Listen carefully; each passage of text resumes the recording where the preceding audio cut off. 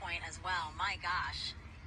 I'm very jealous. Kelly, are you jealous? I kind of feel like I'm like kind you're of a little jealous. jealous. Uh, yeah, I kind of want to, you know, see if I can make a faster plane so we can, you know, Right, follow it all, the Pl- whole way. Plus, they're up above the clouds, so they Yes. don't have to worry. Worry about the clouds, exactly. Well, I do want to say a big thank you to the WB57 pilots and the whole team supporting them for that great view. That was awesome. Kelly, you know, you have a wealth of knowledge when it comes to the sun. And, and for those watching, if you're interested, Iba, napindot ko. Her and other experts featured in the Sun series of NASA's Curious Universe podcast. And that. QR code will pop up on the screen, screen, and that'll take you straight to the episodes. Again, look at that double box we got there. We're showing you amazing views during this broadcast. A big thank you, actually, to the Solar System Exploration Research Virtual Institute, or SERVI, for providing the telescope views from Mazatlan.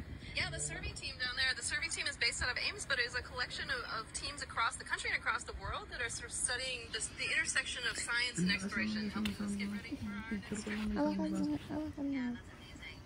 Okay, totality is actually about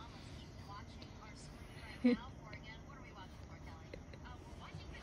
sa Ben? Remembrance.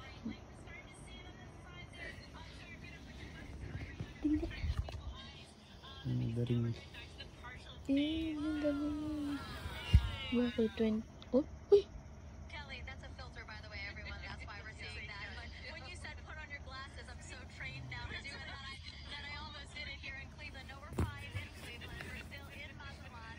Nagbalik ka ng we're walang doon. needed to Daring put ka on naman. the filter now Mas that sensitive again, yung daring na yan. basically like Ala. our glasses, the way that you said people on the ground need to put on our glasses. Yun our yung telescope makikita mo pag operators need to nakaano ka. protect their own eyes as well as their equipment.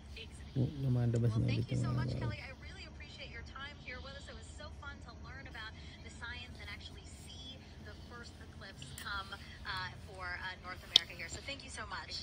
Mm, All right, as you can eclipse, see, there's a ano, lot to eclipse. learn about our sun. So to explain it all in a really fun way for kids, NASA developed a clever game called Snap It. We have another QR code coming on your screen right now. Just scan that code, or if you're watching us on your phone, all you have to do is screen grab it, press on it later, and uh, you can check out that game.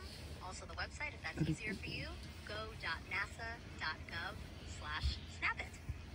Okay, so NASA can predict the total solar eclipse's path to a high degree of accuracy because of a spacecraft that launched nearly 15 years ago. This same spa- spacecraft is now helping our Artemis 2 astronauts who'll be orbiting the moon next year.